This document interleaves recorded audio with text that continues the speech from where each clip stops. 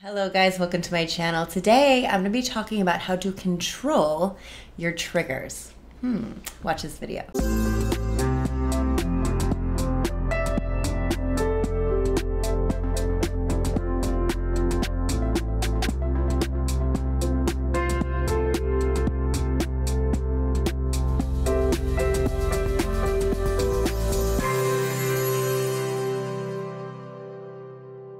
Hey guys, welcome to my channel. If you're new, please click the little subscribe button and the bell to receive notifications when I release new videos.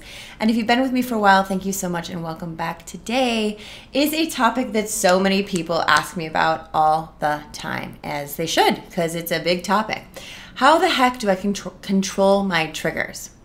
So, first thing is what's a trigger? A trigger is something that triggers either a stuck emotion or a trauma or a past experience up into the forefront today where it feels like it's emotionally happening to you right now. Someone can look at you the wrong way, it triggers an emotional reaction. You're like, what do I do? How do I control this in the moment? I'm at a dinner party. I don't want to look crazy, but I don't want to ignore myself. What to do, right? So, somebody who used to have a lot of triggers, I can tell you, I really think I've mastered this one because I still get triggered to this day. And the first thing that I'll say about this is we have to learn to become the neutral observer. What is the neutral observer? One of the best ways that I learned how to be the neutral observer was daily meditation. It doesn't happen overnight, but it happens over time. And when we start a daily practice of any kind, we have to understand that this is going to become, it starts as a discipline, it becomes a devotion. It really does. I don't think that I'm feeling disciplined anymore when I do my meditation. I'm literally devoted to it. So this is the other thing we have to understand is these daily practices that we start to become the neutral observer, to become a little bit less sensitized to our past traumas and triggers it happens over time and it becomes a devotion and it becomes something you want to do because you realize it helps you so much and it really serves you to have more inner peace and less outer friction all the time. So if you're somebody that you feel is really reactive or your emotions are uncontrollable, this video is for you.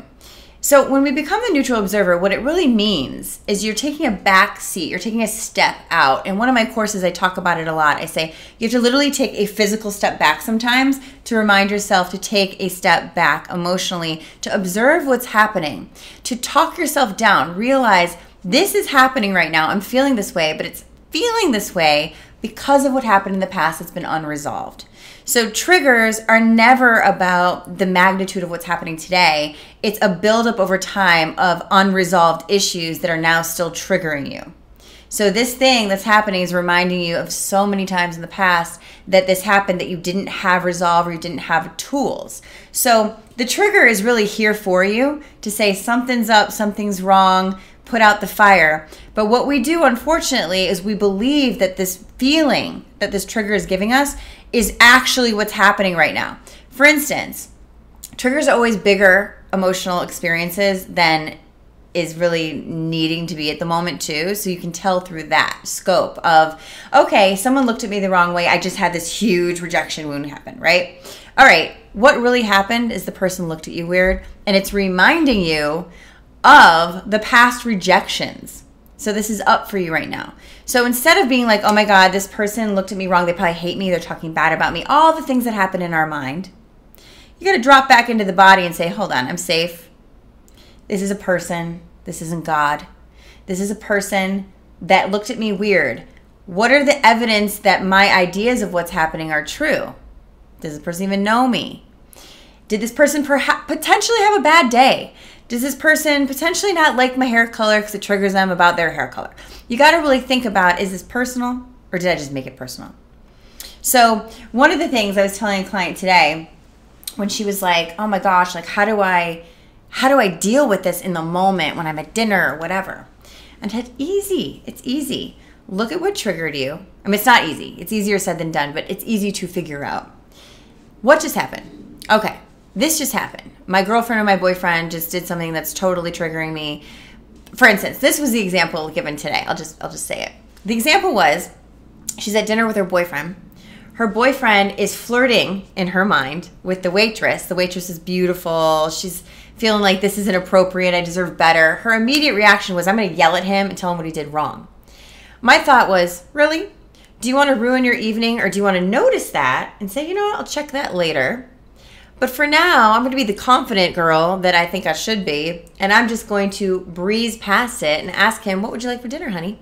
Have a nice dinner instead of a stressful dinner. Because here's the other case. She said to me, Candace, what if I don't say anything in the moment and then it builds up over time and there's resentment? I said, No, that's a reaction. What we'll do is we'll not say it in the moment. We'll acknowledge that I'm upset right now, but do I really need to upset everyone's night? Or can I be mature about it and deal with it later? So we're not ignoring it. We're acknowledging that this happened. And later, when it happens again and again, until you get to the point where there's an opportunity to say, you know what, sweetie, by the way, it really disappoints me when I find you or feel as though you are flirting with waitresses or women. This is what it looks like to me. I've seen it like this time, this time. I'm not saying you're doing it, I'm saying this is how I feel about it. So they're not in defensive mode. I feel like you did it this time, this time, this time. I didn't build up resentment about it, but I do need to bring it to your attention because I don't really like it. And then what happens is they either explain themselves because they're not doing that, or you chalk it up to, I really trust and know my person, so they're probably just acknowledging beautiful women. Can I be secure enough for that? Then she asked me, Yeah, but what if later he ends up cheating on you? Like, what if he cheats on me? And I didn't say anything in the beginning. I said, He's going to do that anyway because people don't do that because of you, they do that because of them. So you can notice the red flag, mention it to him, but you yelling at him is not going to change his cheatingness. It's just going to let him know you're aware. So this is the other thing is we take over responsibility by thinking if I don't acknowledge something that's bothering me in the moment in a way that's extreme so that they learn, they're going to do something and then it's my fault that they did it. Total over responsibility. So that trigger is about I'm triggered, whether I say something or not is not going to dictate someone else's behavior. But what it is going to do is show me how I'm relating to the issue, which is the issue. Are you relating to the issue by having the trigger and reacting and ruining your whole experience? Or are you noticing the trigger, taking note, and saying, now I'm going to act for my higher self even though I'm triggered right now? That is very hard, but it is emotional mastery. You're triggered and you're not reacting, you're just taking note and saying, hmm, check. I'm not giving my power away. This person does not dictate my whole reality. This is something that's happening that's not okay for me and I don't accept. Now, to get your need met and to say, this bothers me to whoever it is, is one thing. To acknowledge that this bothers me, I'm going to take note, is very wise because you're saying, it bothers me so I'm not going to override my need for this to not happen. I'm going to acknowledge it. I'm going to honor myself. To validate my emotions. But I don't need to give my power away in the moment by having a reaction or saying something in a way that's going to cause stress in a big situation that probably then makes you look a little bit cuckoo. So it's about acknowledging the trigger. This is happening.